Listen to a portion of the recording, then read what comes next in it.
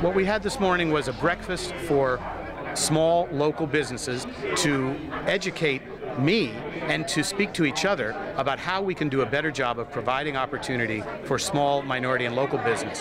We all recognize that small business is the heart of the success of Montgomery County. The overwhelming majority of Montgomery County workers are employed by small businesses. We all know that we need to evaluate. We all know that we can improve, and so that's the purpose today. thing that I want to say right out, right from the get-go is we can do better.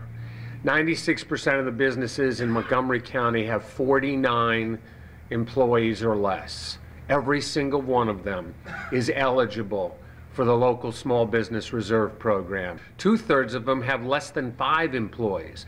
So when we talk about small business, small business is big business in Montgomery County. We're going to go around table by table, and I want you to be mentally composing about 30 to 45 seconds of remarks. You're going to introduce yourself. You're going to introduce your business. My name is Kirk Holmes. Uh, Holmes and Associates Inc. is our firm. Good morning. I'm Robin Axtell, and I'm the principal of Axtell Design. My name is Epi Hankins. I'm the president of EOH Group. I'm Jim Worley. I'm the uh, managing partner of Evergreen Partners. Uh, good morning. I'm uh, Craig Maloney. I'm with CEM Design Architects. And if you've had any experience working with Montgomery County, has it been good or bad? What could be improved? with them, the first thing they'll ask you is if you have any experience with the government, which I don't. So is it really fair for us to be penalized per se for not doing business with the government because we can get into the door? I would say, though, in terms of what would be a, a, uh, an added value suggestion going forward with regards to what the county can do, I think it's providing incentives to prime contractors.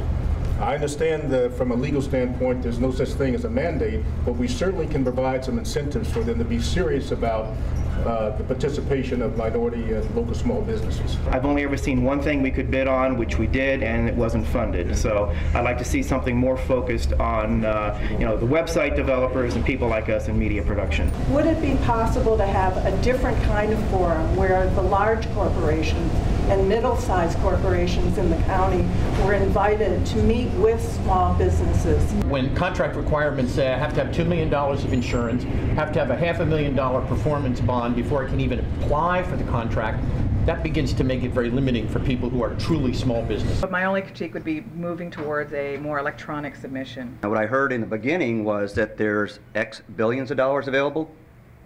And then I've also heard a lot of people speak here that they're having a lot of difficulty getting a contract. For those of you who um, have tried to get contracts through the LSBRP program here in Montgomery County, there is hope. I can tell you I got a contract. It took six years. Don't have any experience with the county small business reserve program. I didn't even know it was in existence, so I'm, I'm glad I came this morning. Well, somebody got a benefit out of this breakfast. There's a piece of legislation that was passed by the council last year um, called the Small Business Navigator. We are in the process of interviewing for that right now. We hope we will fill that job by mid-February. This will be the first addition to our department in the small business arena, and the job responsibilities are to help people navigate their way through Montgomery County system, not only on this program, but any other issues that they have. But we're going to use this person as an outreach person to the small business community. I learned about the range of services where small businesses are trying to sell their products or their services to the government. I learned that um, some people are very happy with the help they're getting, others not so much. That's not surprising. Um, I think there really is a conscientious effort on the part of Mr. Leggett and his senior staff, but there's more that we can do. We need to break up the large contracts. We need to publicize the large contracts so that subcontractors can go to the primes and compete. We need to be very accessible at all times. The new small business navigator position that the county council added will be helpful. You need a staff person to walk you through the process to break it down in plain English. So those are some of the things I learned. So I just want to close by thanking you for what you do. You get up every single day and you pay taxes and you hire people, and that's what keeps our economy afloat.